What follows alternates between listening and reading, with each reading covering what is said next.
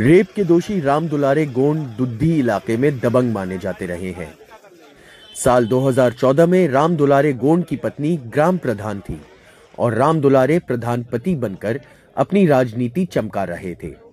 नौ साल बाद MP MLA court ने गोंड को दोषी करार देते हुए 25 साल की कैद की सजा सुनाई है। राम दुलारे गोंड पर 10 लाख का जो जुर्माना लगाया गया है वो मुआवजे के तौर पर पीड़ित को दिया जाएगा। जो चार ग्यारह चौदह की घटना थी उसी दिन प्रथम सूचना रिपोर्ट दर्ज हुआ था जिसमें आज न्यायालय ने जो है अपना जजमेंट सुनाया इसमें उनको 25 साल की सजा और 10 लाख रुपए जुर्माना व जुर्माना पुनर्वास के लिए पीड़िता को दिया जाएगा फैसले से पीड़ित का परिवार संतुष्ट है। भाई ने कहा कि बहन को न्याय मिला है। हमको बहुत दिक्कत का सामना पड़ा करना पड़ा। बहुत परेशान किया।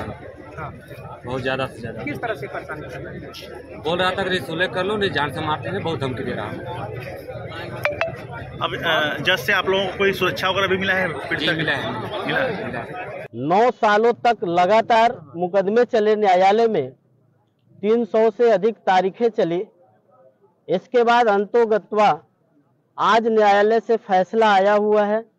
इस फैसले से पीड़ित के जो भाई हैं और पीड़ित का जो परिवार है पूर्णतया संतुष्ट है। बताया कि राम दुलारे गोंड ने एक साल तक डरा धमका कर केस वापस लेने का दबाव भी बनाया था। एमपीएमएलए कोर्ट के विधायक को दोषी करार देने के बाद पीड़िता के परिवार ने कहा है कि 9 साल बाद ही सही लेकिन उन्हें न्याय मिला है और इस फैसले से वो खुश हैं। लेकिन ये भी तय हो चुका है कि कोर्ट के इस सज़ा के ऐलान के बाद विधायक की विधायकी जानी तय है। हालाँकि उनके पास ये विकल्प होगा कि वो ऊपर की अदालत में अपील कर सकते हैं, लेकिन फ़िलहाल भारतीय जनता पार्टी की विधानसभा में एक सीट कम होनी तय हो चुकी है। अपने सहयोगी प्रभात और कैमरा पर्सन विनीत के साथ रणवीर, एनडीटीवी, लखनऊ।